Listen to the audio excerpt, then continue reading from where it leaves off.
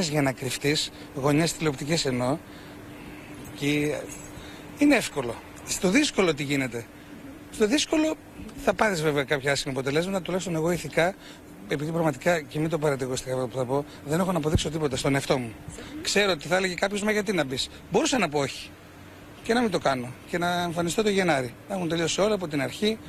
Αλλά δεν είναι έτσι τα πράγματα. Όταν, όταν το κανάλι που πληρώνεσαι έχει πρόβλημα, πρέπει να είσαι εκεί. Καταρχάς, έγραψε ένα υπέροχο κείμενο ο Γιώργος ε, για τα late night στην Ελλάδα. Πότε ήρθε όμως στην εκπομπή σας ο Γιώργος. Ε, αυτό είναι κάτι προσωπικό του. Εγώ του τηλεφώνησα ο Μανώλης ο Σκοπελίτης, έτσι με χαρά να ερχόταν.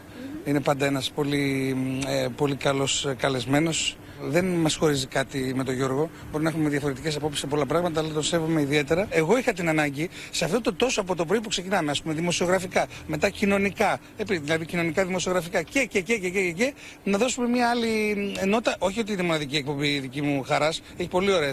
Ο Νίκο φέτο ο Μουτσινά σκίζει να του στείλω πολλά φιλιά. Ο Νίκο Μουτσινά ναι. και του Αλκατρά, κάτι έγινε, το αντιμετωπίσατε με, ε, εντάξει, με το γνωστό σα χιούμορ. Εντάξει, ο Νίκο είναι καταπληκτικό.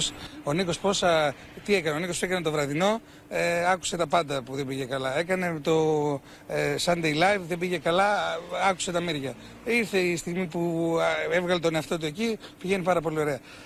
Είναι αστείο στην Ελλάδα πόσο εύκολα περιμένεις κάποιον να λιθοβολήσεις. Αν σας καλέσει στην εκπομπή του, θα πάτε; Ε, ε, έχουμε, έχουμε, ήδη, έχουμε ήδη μπει σε μια τέτοια επικοινωνία. Ε, εγώ χαίρομαι που το απολαμβάνει και βλέπω έναν παλιό Νίκο που ήξερα εγώ από το πρωινό στο Μέγκα.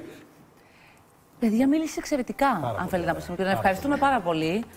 Ε, και μπράβο και στην Ξαντίπη Βουτσαλά, μες στο κρύο πήγε και, και τι καλό κορίτσι που είναι Ξαντίπη. Και εξαιρετική ρεπόρτερ. Μπράβο.